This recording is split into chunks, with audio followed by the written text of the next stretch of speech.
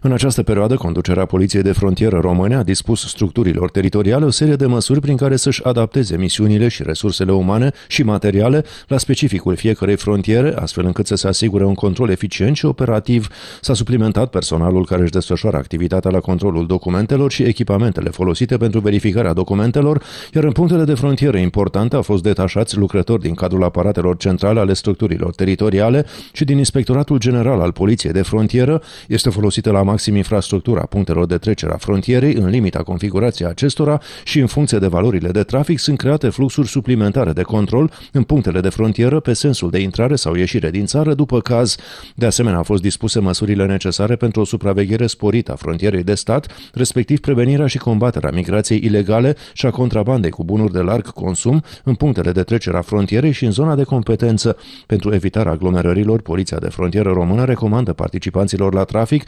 tranzitarea tuturor punctelor de frontieră existente la graniță, astfel încât să se preîntâmpine apariția asupra solicitărilor doar a unora dintre acestea, din cauza unui număr mare de călători într-un timp foarte scurt și folosirea aplicației online disponibilă pe pagina de internet polițiadefrontieră.ro, care prezintă o medie a timpilor de așteptare în punctele rutiere de trecerea frontierei.